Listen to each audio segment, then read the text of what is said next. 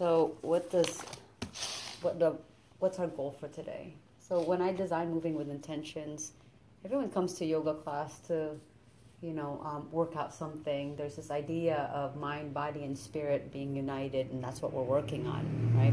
So, we think about the spirit as this life-giving force, prana, chi.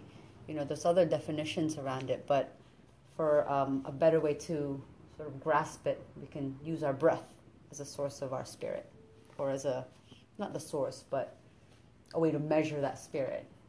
Um, we talk about our body, the muscles, the movements, we think about the postures in yoga, but it's also our feelings. And of course, the mind, our thoughts, and also our feelings. So, the way that we um, connect these, this workshop, we're going to connect mind body through feelings and moving with intention implies mindfulness and implies a choice, and that you're moving with an awareness that you know you have a, a very specific intent in your movement.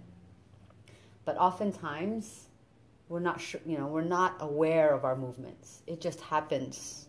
You know, part of our brain, the, the hind brain, sort of our, our frontal cortex is like the critical thinker, like we make our ideas here. But when we're here and it moves down to move, it has to go through the hindbrain. The hindbrain sort of sorts it out and smooths out our movements. So without the function of the hindbrain, we could be moving like herky jerky, right? And the hindbrain says like, okay, make it smooth. And the brain's goal is there. It's kind of lazy. It wants to do. It wants to be efficient, right? Like Wing Chun. Um, if there's already a path there, a neuron pathway, it's going to take that. Um, and you know, it doesn't want to create new ones because that would take too much energy. If it already exists, it keeps it takes that path. So, going back to emotions, what is emotion? Let's define that. And the way that I define emotions is energy in motion, and it's the way that we interact with our surroundings. Something happens, we perceive it, and we feel it. And we can call that emotions. And for that to really be experienced, it has to be emoted. It comes through us and it has to leave us and it has to be emoted. So, what happens when an experience is too traumatic? Well, then the subconscious kicks in. The subconscious's job is survival. You know, it beats our heart, it breathes our lungs, it circulates the blood. We don't have to think about that stuff, it just keeps it going. Um, and then when there's a threat, it says, I'm going to take over, I'm going to get this out of here so we can live. And that's what the subconscious does. It's, that's its purpose. So if trauma happens, it triggers a fear response, and subconscious says, Don't worry, guys, I can handle it, I'll get this out of here. But now it's created that pathway. And if you get triggered or reminded by something traumatic, the subconscious is like, Oh, I remember how to do this, don't worry, I'll handle it. So what happens? Like we no longer have our a choice here. Right? Something triggers us and what I like to call jumping off a cliff. Something triggers us and we lose control.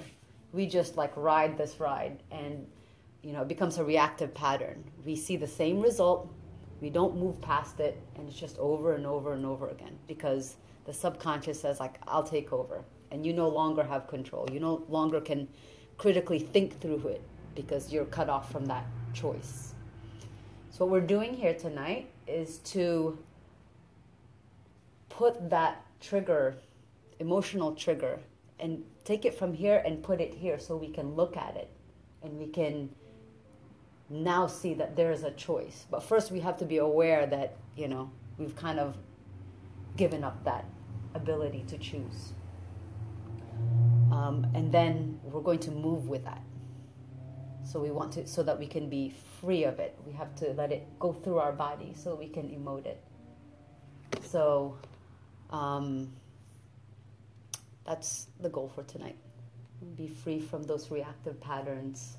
Start living an intentional life and be mindful about the choices and the actions that we take.